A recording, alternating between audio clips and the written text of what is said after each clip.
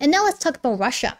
Right after the attacks, Russian President Vladimir Putin said this The sanctions were not enough for the Anglo Saxons. They move on to sabotage.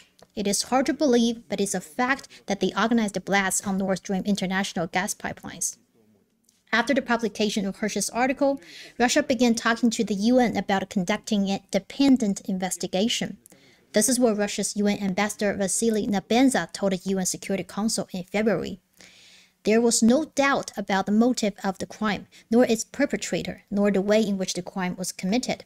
This is even more than the smoking gun that all American detectives dream of finding in Hollywood blockbusters. I mean, I really like this expression. I think this guy really knows about Hollywood movies.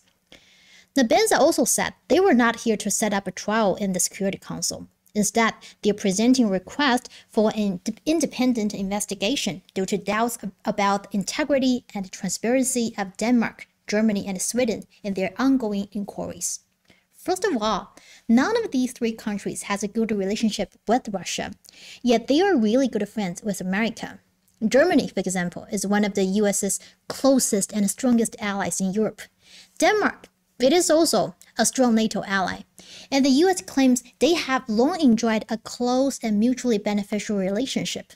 Sweden also maintained a strong bilateral friendship with the US while being an enhanced opportunity partner EOP of NATO. So this makes total sense, right?